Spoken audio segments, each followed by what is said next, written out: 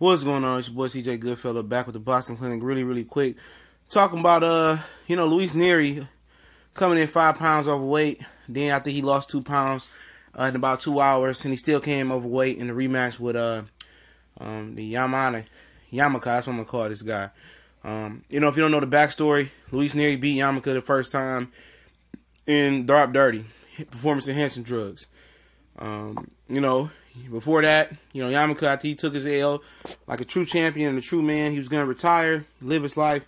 Found out this dude popped dirty. WBC took a long time and never really handed him a verdict. They believe, you know, the, the meat contamination story, which is one of the oldest stories in the book.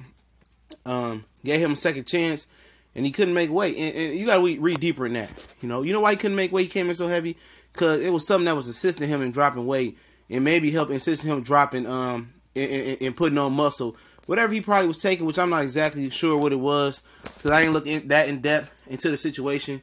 Um, and um, and um, you know the thing, you know, I, I just it's fishy to me that you know I know he had some time off, but to be five pounds overweight and all of a sudden you know you you've been tested clean. I you know I obviously think he's been tested clean, and now he's just five pounds overweight. That's because he was cheating for real, man you know that you know how much amount of, of steroids has to be in meat for it to come up in your blood and urine?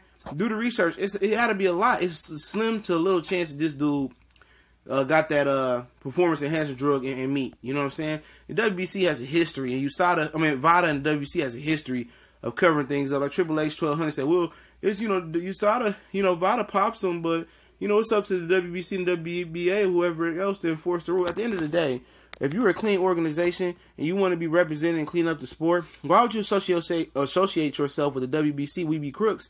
If you you popping guys and they they getting they testing dirty, you popping them, okay? And then WBC is just letting them off the hook. They let Bermane Stiverne off the hook. They let um uh, Luis Nery off the hook.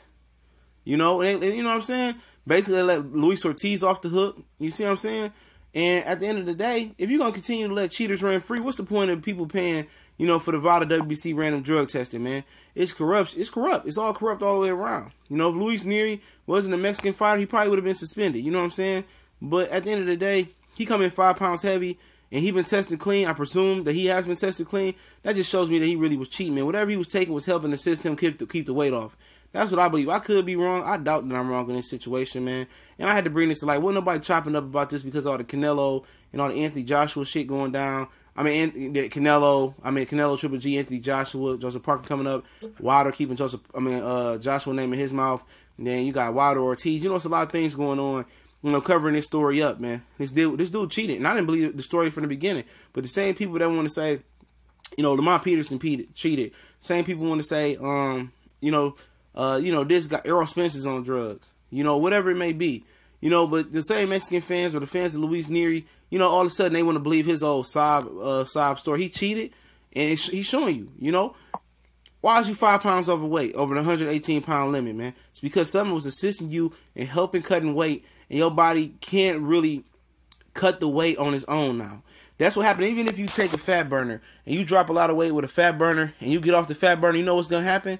Your body gonna be looking for that. And when your body looks for that and can't find it, then you blow up in weight. Because whatever's helping your body assisting and cut the fat, you know, it's gone. It's not there, and now your body just, you know, it, it, it's gonna it's to fluctuate. It's gonna the weight is to go up.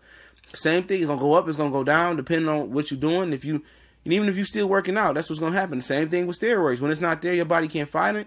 You know, your weight started to go back up. You know, or or your your body can't burn. You know, turn you know turn fat into muscle like it once did. You don't have the energy level no more.